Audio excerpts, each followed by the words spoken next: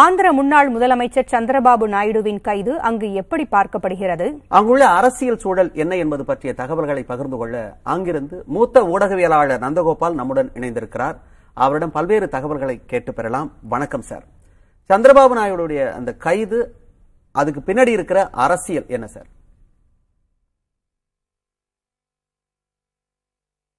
அரசியல்னா இப்போ எதிர்கட்சி என்ன வாஸ்தவம் வெளியெல்லாம் கூட இது அரசியல் தான். இது அவர் உள்ள போட்டது அவர் மாறி அவர் முன்னாள் முதலமைச்சர் போட்டது இது அவங்க இவங்களுக்கு எதிர்கட்சி அது அப்படியே வெளியே பேசுறாங்க.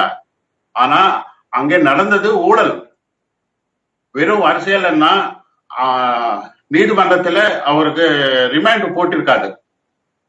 நேத்தெல்லாம் கூட முதல் நாள் எல்லா விஷயங்கள் எல்லாம் சி சிபிஐசிக்காரங்க கோர்ட்டுக்கு ஒப்படைத்துட்டாங்க. அவங்களுக்கு இருக்கிற அவர்கிட்ட விஷயங்கள் எல்லாம் கூட எந்த அளவுக்கு ஊழல் நடந்தது அதுக்கு இருக்கிற ஆதாரங்கள் என்ன எல்லாமே செய்திக்காரங்க கோர்ட்டுக்கு சமர்ப்பித்ததுக்கு அப்புறம் அதுல மேல எல்லாமே எல்லாமே படிச்சு ஆமா இதுல நடந்தது அப்படின்னு அவங்க ஒரு உறுதி வந்ததுக்கு அப்புறம் தான் ரிமைண்ட் போட்டிருக்காங்க. இதுல அரசியல் அன்னா அரசியல் என்ன ரெண்டு கட்சிக்கு நடுவுல அரசியல் இருக்கும் தவிர நீதிமன்றத்தில் அரசியல் இருக்காது இல்லையா?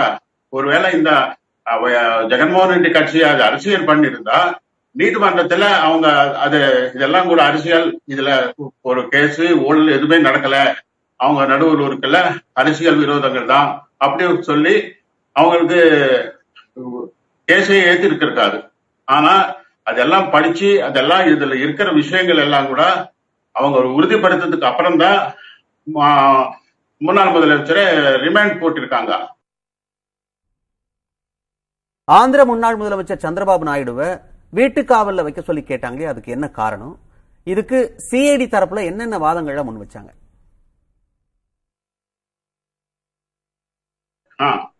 வீட்டுக்காவல் வச்சா இதுல எல்லாரும் ஏதாவது தில்லுமுள்ளு நடக்கும்.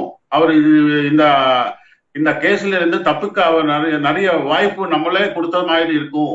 அதனால எல்லா ஏற்பாடுகளும் நாங்க ஜெயில பண்ணிருக்கோம் வசதிய தனி செல்லு கொடுத்திருக்கோம். தனி சாப்பாடு வீட்டில இருந்து சாப்பாடு எல்லாமே மருந்து எல்லாமே தனி வசதியே கொடுத்திருக்கோம். அதனால வீட்டுக்கு போற தேவையில்லை. அவருக்கு எல்லா வசதியும் இங்க கொடுத்ததுனால வீட்டுக்கு போனா அவங்க இதுல தில்லுமுள்ளு பண்ணி அவங்க ஆட்களை வச்சு வேற ஏதாவது பண்ண வாய்ப்பு இருக்கு.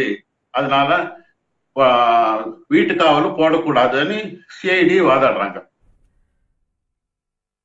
சார் மக்களவை தேர்தல் நெருங்குற இந்த சமயத்துல சந்திரபாபு நாயுடு கைது செய்யப்பட்டிருக்கிறத ஆந்திராவில் எப்படி பாக்குறாங்க? எப்படிப்பட்ட ஒரு தாக்கத்தை ஏற்படுத்தும் இது?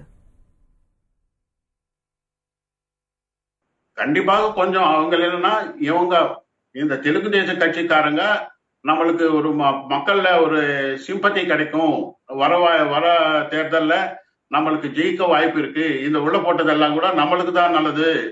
மக்கள் எல்லாம் கூட ஐயோ பாவம் ரொம்ப பாவம் சந்திரபாபு நாயுடுன்னு பேசுகிறாங்க.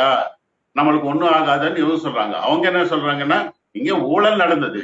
ஊழல் நடந்ததுனால இந்த கட்சிக்கு கெட்ட பேரு. வரும் தேர்தல்ல கண்டிப்பாக இவங்களுக்கு அது ஒரு பெரிய இழப்பு தான். இந்த கோட்டை போடுறதுன்னு ஒய்எஸ்ஆர் ஒய்எஸ்ஆர் காங்கிரஸ் பார்ட்டிக்காரங்க சொல்றாங்க. அனுதாபாலையை அது எப்படி நடக்குது? அனுதாபாலையை ஏற்ப இருக்கும் அப்படின்னு ஒரு தரப்புலையும் இல்ல இல்ல நம்ம சட்டப்படி நடவடிக்கை எடுத்திருக்கோம் அப்படின்னு ஒரு தரப்பும் சொல்றாங்க. பார்க்கலாம். பல்வேறு தகவல்களை எங்களோடு பகிர்ந்து கொண்டமைக்கு நன்றி சார்.